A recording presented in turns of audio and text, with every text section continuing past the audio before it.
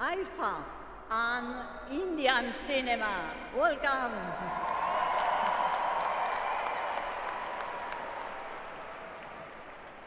Dear friend, it is so nice to having you here. I am very, very pleased, really pleased.